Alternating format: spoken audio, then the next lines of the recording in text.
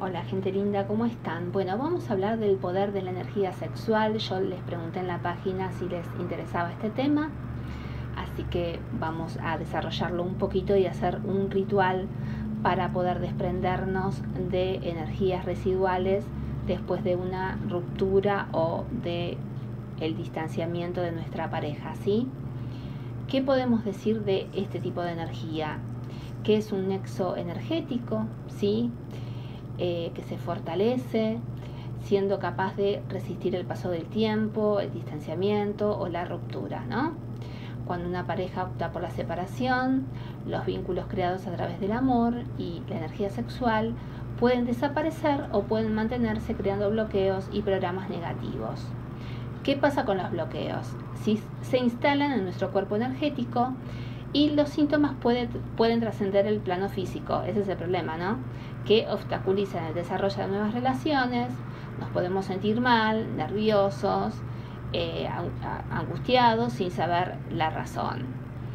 ¿Qué podemos hacer? Hay diferentes rituales para anular los lazos.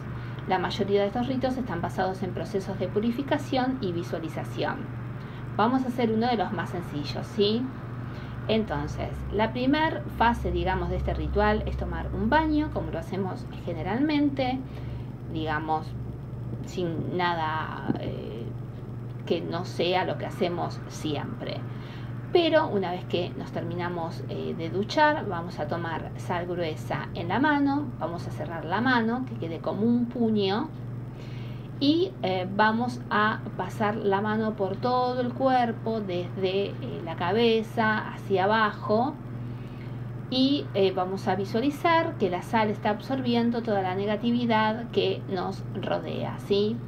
Si querés podés cambiar la sal de la mano, pero haciendo lo mismo, ¿no? Una vez que pones la sal en la mano, cerrás la mano, tiene que quedar como un puño, o sea que la sal no te tiene que tocar el cuerpo. Una vez que vos sentís que ya eh, tu cuerpo está limpio energéticamente, tirás la sal en, la bañadera, digamos, o en la tina, como sea que, lo llamen, y que se vaya con el agua, sin ningún problema. Te vas a secar con una toalla eh, que sea de un color claro, eh, con pequeños toques suaves, no, no, no hace falta que, que te seques con fuerza, ¿no? Con toquecitos suavecitos. Después, ¿qué haces? Si tenés ropa clara y de algodón, mucho mejor. Una vez que estás vestida, eh, lo que vas a hacer, vas a sentarte en un lugar cómodo y vas a encender una vela color blanca, ¿sí? Entonces, vas a cerrar los ojos, vas a hacer respiraciones profundas y una vez que te sientas centrada y en calma, vas a visualizar un círculo de luz blanca que te rodea. Después de esto vas a recrear en tu mente una cinta de luz que sale o bien de tu corazón o bien de tu ombligo y que te conecta con la otra persona. ¿Por qué digo del corazón o del ombligo? Del corazón sería el chakra del corazón, pero si ubicas ese lazo, digamos, cerca del ombligo, estaría más ligado todavía a lo que es un lazo eh, sexual, ¿no?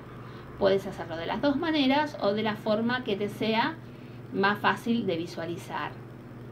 Entonces, en el momento que tengas creada la imagen mental del lazo energético que te une con tu expareja, agradeces las oportunidades de aprendizaje que tuviste dentro de la relación y perdonas si es necesario hacerlo. Vas a visualizar unas tijeras que cortan ese lazo mientras repetís, corto el vínculo con, decís el nombre de la otra persona y todos los lazos energéticos que nos unen sin posibilidad de que puedan restituirse. Te despido y te deseo lo mejor para tu evolución, estamos libres y en paz. Continúas respirando tranquilamente por un par de minutos, abrís los ojos y agradeces a tus guías por el apoyo que te dieron en este ritual.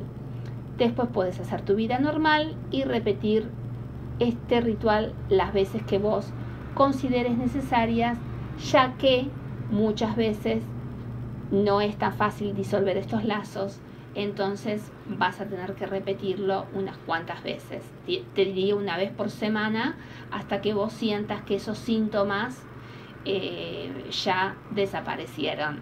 Espero que les sea de mucha, mucha, mucha utilidad. Namaste.